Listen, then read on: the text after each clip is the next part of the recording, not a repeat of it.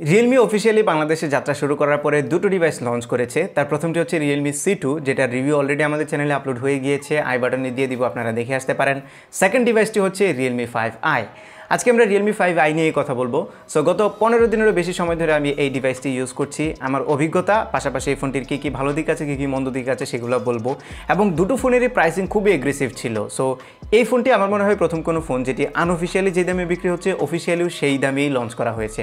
So এই ফোনটির দাম হচ্ছে বারো হাজার নয়শো নব্বই টাকা অফিসিয়ালি এবং আনঅফিসিয়ালিও তেরো হাজার টাকায় বিক্রি হচ্ছে। সো এটা একটা সুইট প্রাইস সো বাজেট সেগমেন্টের একটি ফোন এবং আমরা এই ফোনটি নিয়ে বিস্তারিত আলোচনা করব।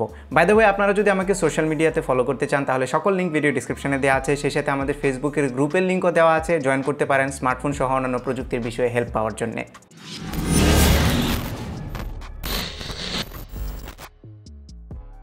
রিয়েলমি ফাইভ আই হাতে নেওয়ার পরে প্রথম যে জিনিসটা চোখে পড়ে সেটা হচ্ছে সানরাইজ ডিজাইন আমার কাছে অনেকটা ডিপ ওশেন ডিজাইনের মতো লাগছে। এটার নাম ডিপ ওশেন দিলে মনে হয় আরেকটু অ্যাপ্রোপ্রিয়েট হতো। কারণ সমুদ্রের নিচে ডুব দিয়ে উপরের দিকে তাকালে সূর্য যেরকম লাগে, আমার কাছে সেরকম লাগছিল। দেখতে পাচ্ছেন বাম পাশে নিচের থেকে সানরাইজের মতো এক ধরনের ইফেক্ট তৈরি হয়। এটা সব ধরনের লাইটেই হয় যেটা একটা ভালো জিনিস। বাই দ্য ওয়ে এটা ব্লু এবং গ্রিন দুইটা ভেরিয়েন্টে পাওয়া যাবে। আমার কাছে ব্লু কালারটা ভালো লেগেছে বেশি গ্রিনটাও ভালো। এবং এই ফোনটি বেশ বড়। হাতে নেওয়ার পরে এটা আপনি ফিল করতে পারবেন। আর আমার মতো ছোটো হাত যাতে তারা তো ফিল করবেনই। সো বাটনগুলো আমার কাছে একটু উপরে মনে হয়েছে, খুব একটা বেশি উপরে না। যাদের হাত আই মিন একটু বড় একটু বড় না, যাদের রেগুলার সাইজের হাত, তারাও এটা পারফেক্টলি রিচ করতে পারবে না আমার মনে হয়। বাট ছোটো হাতের জন্য একটু হালকা স্লাইটলি অ্যাডজাস্ট করে নিতে হয় হাতটা। আর ফোনটি যেহেতু বড় সো একটু লম্বা টাইপের হাতে নিয়ে যখনই ইউজ করতে চাই, তখন সামনের দিকে কিছুটা একটু বেশি ভারী মনে হয় সো ফোনটা মাঝে মধ্যে একটু উপরের দিকে টানে। এটা আমার মনে হয় যাদের রেগুলার সাইজের হাত, তাদের সমস্যা হবে না। আর বাজেট সেগমেন্টের ফোন সো প্লাস্টিক বিল্ডের প্লাস্টিক হলেও পেছনের দিকে একটা টেক্সচার ইউজ করা হয়েছে, যেটা ফোনে বেশ ভালো গ্রিপ দেয়। এবং এই টেক্সচারটা একটা স্পেশাল প্রসেসে হয়েছে, এটা নিয়ে রিয়েলমি অনেক গর্বিত। আমার মনে হয়েছে রিয়েলমি বেশ প্রমোট করছে, এটা একটা পজিটিভ জিনিস। আর ফোনের বাটনগুলো খোদাই করে একটু ভেতরের দিকে দেওয়া হয়েছে। আমার মনে হয় it's a good attention to detail কারণ অনেক সময় আছে বাটনের লেগে পকেটে ঢুকানোর সময় আটকে যায়। সো এই ফোনটিতে এই সমস্যা হবে না। এবং যেহেতু ভেতরে ঢুকানো, তাই আমি ফার্স্টে ভেবেছিলাম যে অতটা ক্লিকই হবে না। বাট বাটনগুলো অ্যাকচুয়ালি বেশ ক্লিকি এবং বেশ ট্যাকটাইল ফিল দেয়।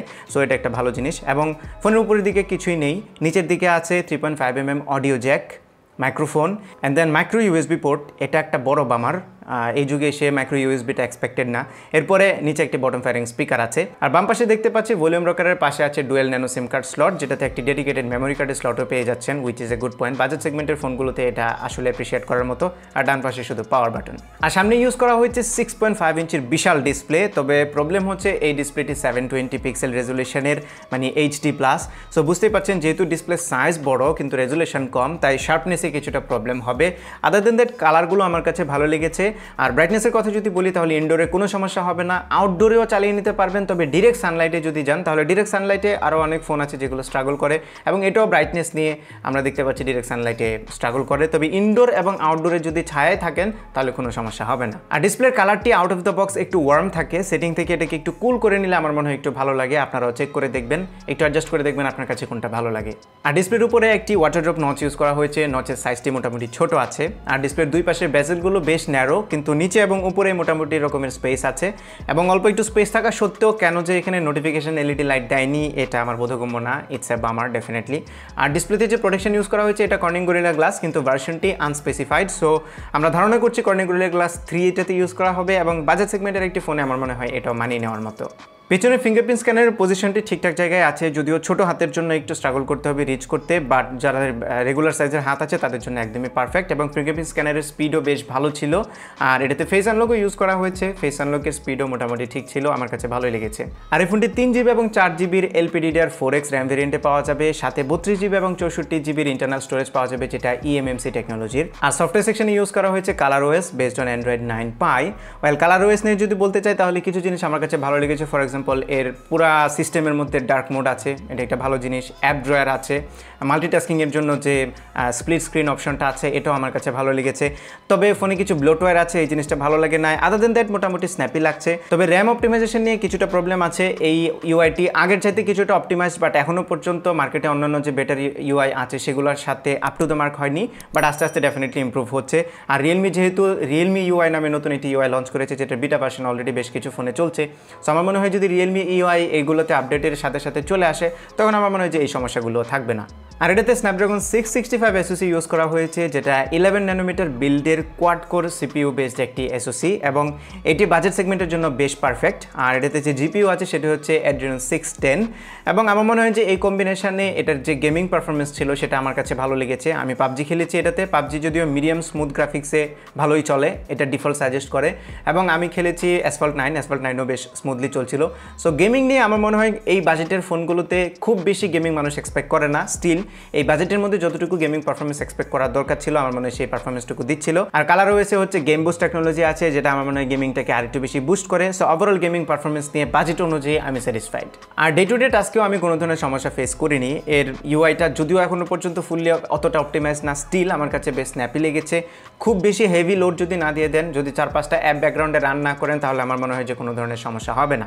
এবার চলে এসে ফোনের সবচেয়ে স্ট্রং যে পয়েন্ট সেটা হচ্ছে এর ক্যামেরা এটাকে রিয়েলমি বলছে কোয়াড ক্যামেরা কিং সো পেছনে চার চারটি ক্যামেরা ইউজ করা হয়েছে, যার প্রাইমারিটি হচ্ছে টুয়েলভ মেগাপিক্সেলের যেটা একটি ওয়াইড লেন্স এবং পরের যে লেন্সটি আছে, এটি হচ্ছে এইট মেগাপিক্সেলের এটি একটি ultra wide lens and then two মেগাপিক্সেলের একটি ম্যাক্রো আর টু মেগাপিক্সেলের একটি ডেপ সেন্সর সো এই হচ্ছে পেছনের চার চারটি ক্যামেরা ওয়েল প্রাইমারি ক্যামেরা দিয়ে তোলা ডেলেটের যে ছবিগুলো আছে, সেগুলো আমার কাছে খুবই ভালো লেগেছে। ওয়েল এই বাজেটের মধ্যে যতটুকু এক্সপেক্ট করা উচিত, সেই কোয়ালিটির ছবি অবশ্যই দিচ্ছিল। শার্পনেস ডিটেলও মোটামুটি রকমের ছিল। ডাইনামিক রেঞ্জ নিয়ে মোটামুটি স্যাটিসফাইড এরপরে যে ছবিগুলো আছে, আমি লোলাইটে তুলেছি। লোলাইটে তোলা ছবিগুলো বাজেট বিবেচনায় বেশ ভালো ছিল। আপনারা স্ক্রিনে দেখতেই পাচ্ছেন বেশ কিছু লোলাইট স্যাম্পল আর ডেপ সেন্সর দিয়ে তোলা পোর্ট্রেট শটগুলো আমার কাছে ভালো লেগেছে। যদিও বোকের পরিমাণ মাঝে মধ্যে একটু বেশি মনে হচ্ছিল আই মিন ব্যাকগ্রাউন্ডটা বেশি ব্লার হয়ে যাচ্ছিল। এবং এটা অ্যাডজাস্ট করার মতো কোনো অপশনও আমি খুঁজে পাইনি।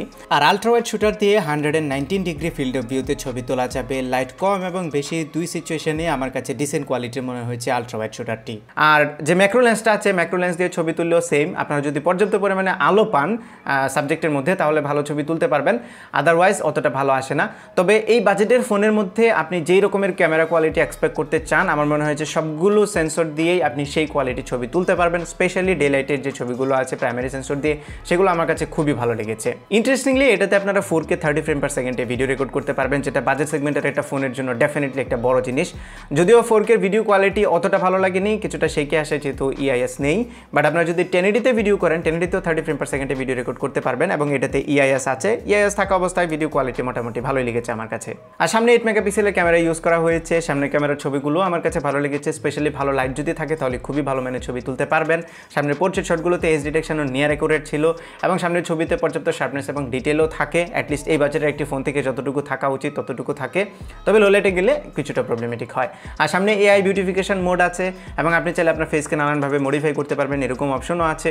সো যারা হচ্ছে একটু বিউটিফাই হতে চায়, তাদের জন্য এটা ঠিক আছে। বাট বিউটিফিকেশন অফ করে তুললে আপনারা ছবির অ্যাকচুয়াল কোয়ালিটি বুঝতে পারবেন এবং সেটাও আমার কাছে ভালোই লেগেছে।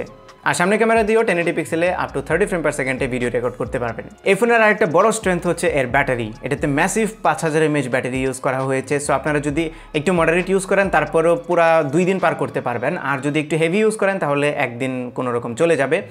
যদি খুব বেশি হেভি ইউজ না করেন আর কি, একদমই লাইক কন্টিনিউয়াস ইউজ করলে তো ডেফিনেটলি এটা আপনার পুরো দিন পার করতে পারবেন না। তবে এসওটি আপনারা নয় দশ ঘণ্টার মতো পেয়ে যাবেন মডারেট ইউজে আর আমি এই ফোনটি যে কয়েকদিন ইউজ করেছি, সেই কয়েকদিন এটা চার্জ আমি ফুরাতে পারি নাই খুব একটা। তো আমার কাছে ভালো লেগেছে চার্জিংয়ের ব্যাপারটা।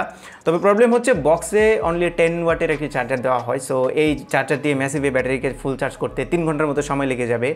এটা একটা নেগেটিভ দিক। আর হচ্ছে মাইক্রো ইউএসবি ইউজ করা হয়েছে এটা আর একটা নেগেটিভ দিক।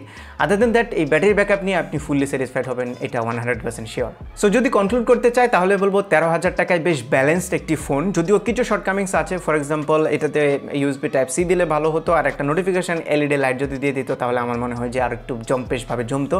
তারপরেও যে বাজেটে এই ফোনটি আপনি পাচ্ছেন, এতে করে অনেকগুলো পজিটিভ সাইড আপনারা দেখতে পাচ্ছেন। ফর এক্সাম্পল এর বিশাল ব্যাটারি এর বড় ডিসপ্লে এর ডিজাইনটি আমার কাছে ভালো লেগেছে অ্যান্ড মোস্ট অফ অল এর ডিসেন্ট কোয়ালিটির ক্যামেরা সো এই জিনিসগুলো অ্যাকচুয়ালি বাজেট সেগমেন্টের একটি ফোনের অনেক স্ট্রং একটি পয়েন্ট সো এগুলো যদি বিবেচনা করা হয়, তাহলে আমার মনে হয় এই ফোনটি ডেফিনেটলি রিকমেন্ড করার মতো এবং আমি তেরো হাজার টাকায় আপনাদেরকে এই ফোনটি ওয়ান হান্ড্রেড পার্সেন্ট রিকমেন্ড করতে পারি। সো এই ছিল আমাদের আজকের ভিডিও আশা করি ভিডিওটি আপনাদের ভালো লেগেছে। যদি ভালো লেগেই থাকে, তাহলে ভিডিও দেখতে লাইক দেবেন কমেন্ট করে জানাবেন কেমন লাগল। আপনার ফ্রেন্ডদের সাথে শেয়ার করতে একদমই ভুলবেন না। আর আমার চ্যানেলে সাবস্ক্রাইব তো মাস্ট দেখা হবে পরবর্তী ভিডিওতে till then take care tata.